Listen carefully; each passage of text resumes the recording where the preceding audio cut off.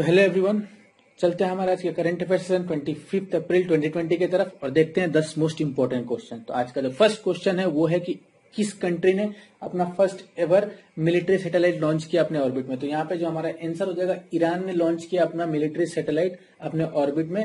एक स्टेटमेंट दिया है ईरान रिवोल्यूशनरी गार्ड्स जो कि ईरान रिवोल्यूशनरी गार्ड को सेकेंड ट्वेंटी सेकेंड अप्रैल को अपना स्टेटमेंट देके बताया कि हमने एक सैटेलाइट लॉन्च कर दिया और ये लॉन्च हुआ amid of height high tension between USA and Iran इसके न्यूक्लियर पावर प्रोग्राम को लेके इनके दोनों के बीच में बहुत टेंशन था और इसके जो जनरल थे रिवोल्यूशनरी गार्ड के सुलेमानी को उसको उसको, उनको अमेरिका ने मार भी गिराया था।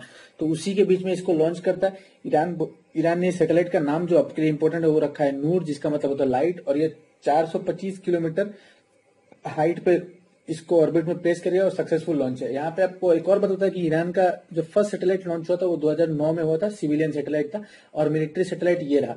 आपको यहाँ पे एक चीज़ बता दें और कि ये जो सैटेलाइट लॉन्च हुआ है इसका काम ही है कि उसका न्यूक्लियर पावर प्रोग्राम जो है, उसको ऊपर नज़र रखना, उसके ऊपर देखते रहना कि वो अपना स्पाई कर सके कभी अमेरिका उस पर अटैक ना कर सके। आपको एक और बात है कि ईरान उन चुनिंदा बारह देशों में सॉल्व हो गया है, बारह देशों में शामिल हो गया है सॉल्व में शामिल हो गया है जो कि अपना खुद सेटेलाइट लॉन्च कर पाते हैं। नहीं तो इसके पहले क्या होता है कि वो दूसरे देश को जाके पैसा देके उनसे लॉन्च करवाते हैं, क्योंकि सैटेलाइट लॉन्च व्हीकल इतना इजीली कोई बना नहीं सकता है। तो जैसे कि इंडिया लॉन्च करता है अपना चाइना करता है, यूएस करता है, यूके करता है उसके बाद आपका रशिया करता है, यूएसएसआर यूएसएसआर जो पहले था वो करता है, यूक्रेन करता है, जापान करता है तो ये कुछ चुनिंदा देशों में ईरान भी शामिल हो गया। अब चलते हैं नेक्स्ट क्वेश्चन की तरफ़। नेक्स्ट क्वेश्चन बोला गया कि International Advance Research Centre for Powder Metrology and New Materials जो कोलाबोरेशन किया नैनो मैकेनिक्स इंक यूएसए के साथ तो एक नया टूल एडवांस टूल डेवलप किया, उस टूल का नाम क्या है? तो यहाँ पे जो टूल का नाम हो जाएगा, वो हो जाएगा नैनो ब्लिट्स थ्री डी उसका नाम रखा गया नैनो ब्लिट्स थ्री जी अब ये है क्या? तो ये tool nano blitz three G है, जो कि बहुत इंपॉर्टेंट है और ये बहुत एक्सीलेंट येल्ड रिज़ल्ट दे रहा है वाइड मटेरियल सिस्टम है जैसे कि ग्लास फाइबर बनाने में री एनफोर्स पोलिमर कॉम्पोजिट में या फिर डुअल फ़ेज़ स्टील में सॉफ्ट वुड में या सेल में, इसको डेवलप करने में बहुत ही ज़्यादा हेल्पफुल होगा, इसलिए इसको डेवलप किया गया है। दो कम, एक जो है कि international advance international advance research centre for powder metallurgical and new material साथ ही साथ कोलाबोरेशन हुआ किसके साथ? नैनो मैकेनिक्स इंक यूएसए का कंपनी है। इसके साथ कोलाबोरेशन होकर इन्होंने डेवलप किया है। चलते हैं तीन नंबर क्वेश्चन में। तो हमारा आज का जो तीन नंबर क्वेश्चन है कि पूछा एक ऑबिट्री रिलेटेड क्वेश्चन है कि उषा गांगुली जो कि एक थिएटर एक्टर थी रिसेंटली पास्ट हुए मतलब जिनका रिसेंटली देहांत हो गया at the age of seventy five उन्होंने एक स्क्रिप्ट लिखा था एक बॉलीवुड फ़िल्म के लिए। अब उस फ़िल्म का नाम हम आपसे पूछ रहे हैं। तो वो जो हो जाएगा, वो फ़िल्म का नाम होगा रेनकोट आपको बता दें कि इस तरह से भी क्वेश्चन घुमा सकता है कि कोई एक स्क्रिप्ट बोलेगा कि रेनकोट किसने लिखा था? ये ऑर्बिटर रिलेटेड क्वेश्चन बहुत ही इंपॉर्टेंट है तो एग्ज़ाम प्रोस्पेक्टिव से। तो पूछ सकता है कि रेनकोट मूवी का स्क्रिप्ट राइटर कौन थे? तो वो उषा गांगुली हो जाएगा और वो थिएटर एक्टर थी।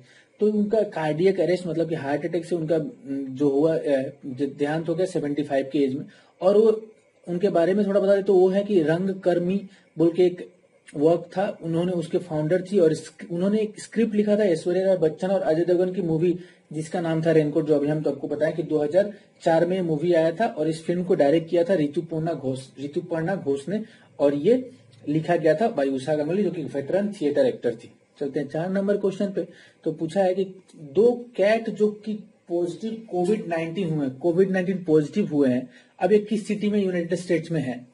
तो देखिए, आपको यहाँ पे एक चीज़ बता दे कि अब फिर से बता रहे हैं कि कुछ दिन पहले न्यूज़ आया था कि एक बाघ के बच्चे को भी हुआ है तो अब कैट मतलब कैट में भी फैल रहा है। तो पहले जो एनिमल टू जो हम लोग कोविड नाइन्टीन के बारे में पता था कि animal to animal to human transmission हुआ था, अब क्या हो रहा है कि ह्यूमन टू एनिमल ट्रांसमिशन उल्टा चैन बन चुका है। तो ये जो आंसर होगा, वो होगा न्यूयॉर्क के सिटी में। न्यूयॉर्क सिटी में ऐसा पाया गया है कि दो कैट, दो बिल्ली, जो कि पैट थे, घर में पैट के हिसाब से रखे गए तो उन, उनमें वो कोरोना वायरस पॉजिटिव इन्फेक्शन मिला उनके अंदर। अब ये इनको कहाँ से इन्फेक्शन है तो इनके ओनर्स के थ्रू आया न्यूयॉर्क में इनके ओनर्स के थ्रू इनको इन्फेक्शन हो गया है। और अब यहाँ पे और भी बहुत सारे केसेस ग्लोबली देखा जा रहा है, जिसमें जिसमें अपने ओनर से एनिमल्स को ट्रांसमिट हो रहा है। कोविड नाइन्टीन, जो कि एनिमल के लिए फिर से खतरा एक, ऐसा भी आया था कि एक कैट हांगकांग में भी पॉजिटिव पाया गया था, लेकिन उसने सिम्टम दिखाया नहीं था। बाद में, बहुत दिन बाद उसने अपना सिम्टम दिखाया क्योंकि आपको पता है कि अब ये कोविड नाइन्टीन जो है ए सिम्टमिक हो गया है। बहुत सारे जगह में आप देख रहे हैं कि ये सिम्टम दिखा नहीं रहा, लेकिन बाद में टेस्ट हो रहा तो पता चला कि कोविड नाइन्टीन का केस है। तो यहाँ पे ये हमारा जो एंसर था, वो न्यूयॉर्क हो जाएगा। चलते हैं नेक्स्ट क्वेश्चन की तरफ़। तो हमारा जो पाँच नंबर का क्वेश्चन है, उसमें दिया है कि किसको अपॉइंट किया गया नेशनल शिपिंग बोर्ड का? हेड नया हेड किसको अपॉइंट किया गया? नेशनल शिपिंग बोर्ड का। इंडिया का जो नेशनल शिपिंग बोर्ड है, उसको किसको हेड अपॉइंट किया? तो यहाँ पे जो हमारा आंसर हो जाएगा, वो हो जाएगा मालिनी शंकर को अपॉइंट किया गया नेशनल शिपिंग बोर्ड का हेड अब ये रिकंस्टिट्यूशन हुआ उनका नेशनल शिपिंग बोर्ड का हेड वो फॉर्मर डायरेक्टर थी general shipping general of shipping वो डायरेक्टर जनरल ऑफ़ शिपिंग थी पहले, और फिर से उनको हेड बना देगा नेशनल शिपिंग बोर्ड का। इसको इंडियन शिपिंग इंक्लूडिंग कर रहे हैं क्योंकि डेवलपमेंट और वहाँ पे ज़्यादा से ज़्यादा अपने मर्चेंट शिपिंग एक्ट के थ्रू ज़्यादा से ज़्यादा अपना डेवलपमेंट करे तो इनको एज ए हेड बनाया गया ताकि हमारा एक्सपोर्ट और इम्पोर्ट का बिज़नेस और इजीली चलता रहे। अब चलते हैं छह नंबर क्वेश्चन पे। तो हमारा जो छह नंबर क्वेश्चन है, उसमें दिया है, किस एजेंसी ने या फिर किसने एक रिपोर्ट दिया है कि इंडिया में जो एयर पोल्यूशन है, वो पिछले 20 साल में सबसे निचले स्तर पर गया। मतलब कि एयर पोल्यूशन बहुत कम हो गया है। अब ये कम होने का कारण ये लॉकडाउन है। तो इसमें पूछा गया एजे, एजेंसी या फिर किसके किसने बताया था? किसने ये रिपोर्ट दिया? तो यहाँ पे हमारा जो आंसर हो जाएगा नासा जो जो national aeronautics and space administration है यूएसए का उसने एक एक डाटा दिया रिपोर्ट दिया कि 20 साल में ये अप्रैल के मंथ में 20 साल में 20 साल के अंदर ये पहला ऐसा किस्सा हुआ है रिपोर्ट आ रहा है जिसमें एयर पोल्यूशन सबसे लो पे है इंडिया में, क्योंकि कंप्लीट लॉकडाउन है इंडिया में 42 डेज़ का लॉकडाउन है, जिसके वजह से गाड़ी तो कम्प्लीटली बंद है। एक दो जो गाड़ी जो बहुत ज़रूरी है, वही चल रही है, और कुछ भी नहीं चल रहा है तो इसके वजह से जो पोल्यूशन का स्तर है बहुत गिर गया है, और 20 साल का रिकॉर्ड तोड़ रहा है।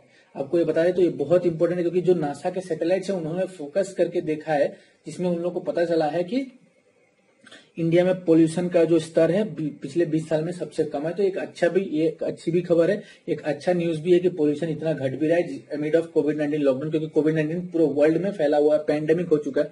तो इससे क्या हुआ है कि लॉकडाउन में पूरे वर्ल्ड में तो पोल्यूशन तो बहुत कम हो गया है। और वाटर बॉडीज एक और बात है कि आप देख सकते हैं कि वाटर बॉडीज बहुत साफ़ हो चुकी हैं आज के वर्ल्ड में, क्योंकि पोल्यूशन भी नहीं हो रहा है इंडस्ट्रियल पोल्यूशन एकदम बंद पड़ा है। चलते हैं नेक्स्ट क्वेश्चन की तरफ़। तो नेक्स्ट क्वेश्चन पूछा है कि गवर्नमेंट ने जो महँगाई भत्ता होता है या फिर जिसको डीआरनेस अलाउंस बोलते हैं, या फिर डीएनएस डीआरनेस रिलीफ जिसको बोलते हैं, उस पर होल्ड लगा दिया है कि अगले कितनों, कब तक इसको बढ़ाया नहीं जाएगा। जो सरकारी कर्मचारी हैं, सरकारी वर्कर्स हैं, उनका जो डीएनएस अलाउंस है, उसके ऊपर मतलब इंक्रीमेंट नहीं होगा, ये कब तक के लिए इंक्रीमेंट के लिए होल्ड कर दिया गवर्नमेंट ने।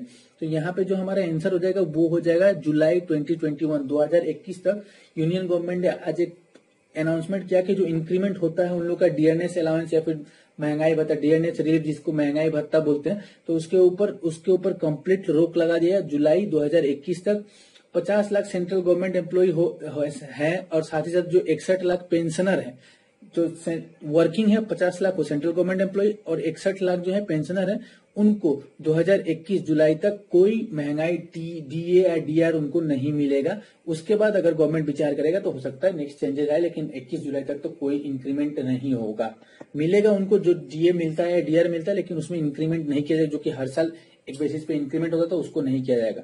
अब चलते हैं नेक्स्ट क्वेश्चन की तरफ़ तो नेक्स्ट क्वेश्चन है कि आईसीएमआर जो कि Indian medical Indian council of medical research है उसने बोला है कि पुल टेस्टिंग में सबसे ज़्यादा कितने मतलब पुल टेस्टिंग जो हो रहा है कोविड नाइन्टीन का तो एक साथ कितने टेस्ट हम कर सकते हैं, कितने सैंपल्स को टेस्ट कर सकते हैं। तो यहाँ पे जो हमारा आंसर हो जाएगा कि पाँच से ज़्यादा इस आईसीएमआर ने स्ट्रिक्ट गाइडलाइन दिया है कि पाँच से ज़्यादा सैंपल्स को पुल मत कीजिए टेस्टिंग के लिए, क्योंकि ये पुल टेस्टिंग का एफिकेसी एफिशिएंसी को कम कर देगा। अब ये काउंसिल ने अनाउंस किया 22 अप्रैल 2020 को दैट पुल टेस्टिंग वहीं पे कंडक्ट होगा जहाँ पे लेस देन पाँच परसेंट उस एरिया में कोविड नाइन्टीन के प्रिवलेंस है या फिर केसेस है। पाँच परसेंट। अगर मान लीजिए कि इस एरिया में सौ लोग रह रहे हैं तो उसमें अगर पाँच से कम केसेस है तो वहीं पे पुल टेस्टिंग किया जाएगा, नहीं तो जहाँ पे ज़्यादा है, वहाँ पे पुल टेस्टिंग नहीं किया जाएगा। तो स्ट्रिक्ट गाइडलाइंस आईसीएमआर के द्वारा आया है और आईसीएमआर का हेडक्वार्टर आपको पूछेगा एग्ज़ाम में तो हो जाएगा न्यू दिल्ली चलते हैं नेक्स्ट क्वेश्चन की तरफ़। तो हमारा जो आज का नेक्स्ट क्वेश्चन है, उसमें पूछा गया है कि किस किसने लॉन्च किया है, इसको आदमी के पर्सन का नाम पूछा है mobile virology research and diagnostic level एक मोबाइल मतलब कि मूवेबल जो कि डीआईडीओ ने डेवलप किया, उसको इनोग्रेट किसने किया? या फिर लॉन्च किसने किया इनोग्रेट किस आदमी ने किया? जो कि mobile virology research and diagnostic laboratory M V R D L जिसको बता दें तो ये डीआरडीओ ने डेवलप किया जो कि पर्सन मूवेबल है, घूम सकता है और वो टेस्ट कर सकता है। तो यहाँ पे जो आंसर हो जाएगा, हमारा राजनाथ सिंह ने इसको लॉन्च किया है। राजनाथ सिंह, ये mobile virology research and diagnostic laboratory M V R D L develop by DRDO को इनोग्रेट करते हैं और ये defence research and development organisation ने इसको बनाया है और ये प्रोसेस कर सकता है एक हज़ार सैंपल्स इन ए डे एक हज़ार सैंपल्स को प्रोसेस कर सकता है इन ए डे और इस, ये काम इसका होगा कि स्पीड अप कर देगा कोविड नाइन्टीन का स्क्रीनिंग स्क्रीनिंग जो कोविड नाइन्टीन का हो रहा है देश में, उसको स्पीड में ला देगा। साथ ही साथ कुछ इम्यून प्रोफाइलिंग भी टेस्ट करेगा पेशेंट का कि किस पेशेंट का इम्यून सिस्टम कैसा है। क्योंकि अल्टीमेटली जो covid nineteen corona novel corona virus है, वो अल्टीमेटली आपके इम्यून सिस्टम पे अटैक करता है। अगर आपका इम्यून सिस्टम अच्छा है तो उसके अगेंस्ट में फाइट कर लेगा, नहीं है तो नहीं फाइट कर पाएगा। तो वही डेवलप और साथ ही साथ अगर ये इम्यून प्रोफाइलिंग होगा तो इससे क्या होगा कि वैक्सीन वैक्सीन डेवलपमेंट बहुत काम आएगा तो इसको लेके ये लॉन्च हुआ। और एक बात बता दें कि जो मोबाइल लेब है, ये कहीं भी पोजीशन कर, किया जा सकता है? इसको मतलब उठा के कहीं भी पोजीशन बैठा दिया जा सकता है? तो मूवेबल है, ये मोटाइल है मतलब घूम सकता है। मतलब अल्टीमेटली एक व्हीकल पे लेके हम लोग जा सकते हैं उसको तो कहीं भी इसको ला जो कि हेल्पफुल होगा कोविड नाइन्टीन के डायग्नोस्टिक में। साथ ही साथ आपको बता दें कि ये प्लाज्मा थेरेपी के ऊपर भी काम कर रहा है। प्लाज्मा थेरेपी क्या आपको न्यूज़ में सुन रहे होंगे? कि प्लाज्मा थेरेपी क्या होता है कि जो पेशेंट्स कोविड नाइन्टीन से इन्फेक्टेड थे और क्यूर हो चुके हैं, वो घर जा चुके हैं तो वो अगर चाहे तो अपना ब्लड डोनेट करेंगे। आज दिल्ली गवर्नमेंट ने लोगों को रिक्वेस्ट किया कि काइंडली आगे ब्लड डोनेट कीजिए। अब उनके ब्लड से हम लोग प्लाज्मा एक्सट्रैक्ट करते हैं और प्लाज्मा से दूसरे लोगों को ट्रीट कर रहे हैं तो वो सही एकदम ठीक हो जा रहे हैं। इसी की वजह से ये प्लाज्मा थेरेपी के ऊपर भी काम कर रहा है। अब चलते हैं आज के लास्ट क्वेश्चन की तरफ़, जो आज का लास्ट क्वेश्चन है कि किस मिनिस्ट्री ने लॉन्च किया है विद्यादान 2.0 प्रोग्राम एक प्रोग्राम है जो कि नेशनल प्रोग्राम है, उसका नाम है विद्यादान 2.0 ये जो नाम से प्रोग्राम होते हैं तो ये बहुत इंपॉर्टेंट होते हैं। तो ये किस मिनिस्ट्री ने लॉन्च किया? तो यहाँ पे जो हमारा आंसर हो जाएगा human resource ministry HRD ministry ने लॉन्च किया, जिसके मिनिस्टर है रमेश पोखरियाल निशंक ने। इसको लॉन्च किया विद्यादान 2.0 प्रोग्राम जिसमें लोग कंट्रीब्यूट करेंगे ई लर्निंग कंटेंट आप घर बैठे हम या फिर आप जो सुन रहे हैं हमारे वीडियो को, वो भी कंट्रीब्यूट कर सकते हैं ई लर्निंग कंटेंट इसमें क्या होगा कि कुछ एक कॉमन नेशनल प्रोग्राम होगा जो कंट्रीब्यूट करेगा ई लर्निंग कंटेंट जो कि चिल्ड्रन को हेल्प करेगा continue their learning any time any work कहीं घर पे भी रह के उनको पढ़ाई जारी रखेगा। अब इसमें क्या है कि पीपल जो लोग जो है in the form of animation explanatory videos या फिर टीचिंग वीडियोस असेसमेंट्स होगा जैसे कि आप असाइनमेंट्स दे दिए या फिर क्वेश्चन बैंक या फिर लेसन प्लान जो भी है, एक प्रिस्क्राइब फॉर्मेट में डाल देंगे। उसका, उसको एक एकेडमिक पैनल एक्सपर्ट जो है, उसको उसको देखेंगे, उसको चेक करेंगे कि सही है कि नहीं, सब कुछ फॉर्मेट चाहिए फिर उसको एक दीक्षा ऐप जो है एच आई डी मिनिस्टर का, उस पर अपलोड किया जाएगा।